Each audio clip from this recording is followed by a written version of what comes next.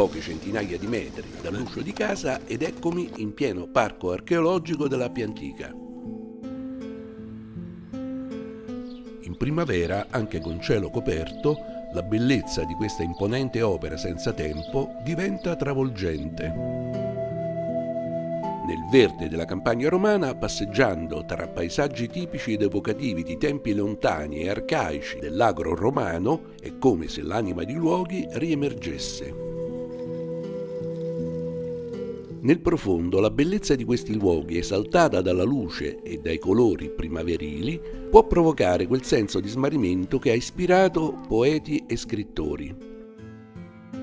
L'antica Via Appia, un rettilineo scolpito nella pietra collegava Roma a Brindisi, da cui iniziavano le rotte commerciali per la Grecia e l'Oriente.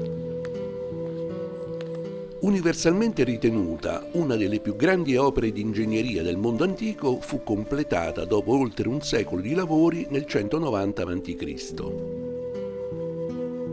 Le grandi pietre laviche che la compongono poggiavano su vari strati di pietrisco e terra, secondo un sistema che ne assicurava un drenaggio ottimale. Ai lati i percorsi pedonali sterrato erano quella interrotti da monumenti sepolcrali di varia forma.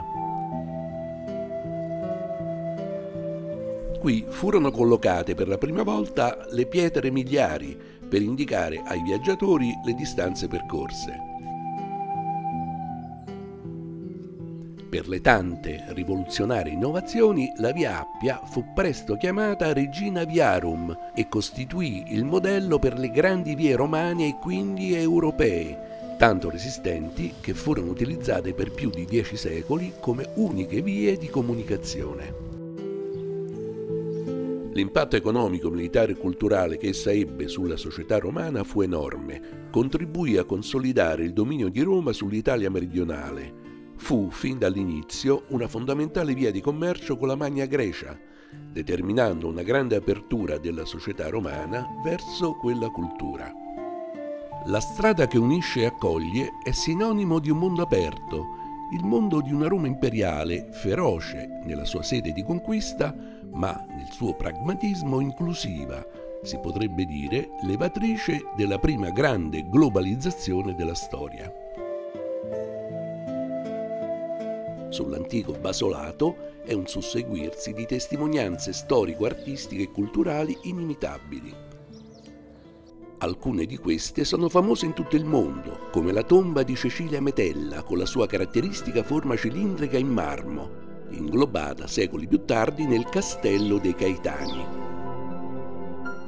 la villa di Massenzio, con il maestoso circo forse mai utilizzato, ed il mausoleo dinastico che si dice fosse adottato come modello dal Palladio per le sue ville venete.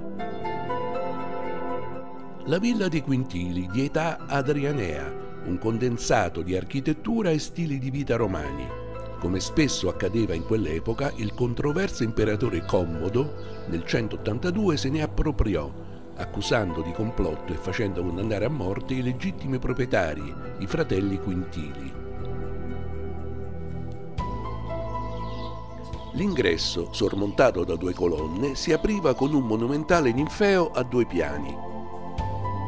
Nella imponente zona residenziale sono ben conservate le suggestive strutture termali e la zona abitativa.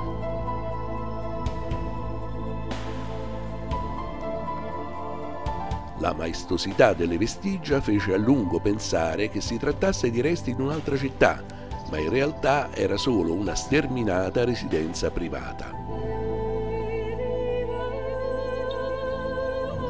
La necessità di tutela del patrimonio storico archeologico e paesaggistico dell'antica via, costantemente a rischio di speculazioni edilizie, come testimonia la sequenza di ville private, è stata una lunga battaglia ambientalista condotta in primis da Antonio Cederna, che portò finalmente nel 1988 all'istituzione del Parco regionale dell'Appia Antica. Si dice che i romani costruissero per l'eternità e le spoglie di questa maestosa opera, pensata per unire, ne sono la plastica testimonianza. Nel tempo dei muri è difficile immaginare un ancoraggio più solido e che ancora oggi può offrire visione e speranza alla nostra sofferta ed incompiuta vicenda di europei.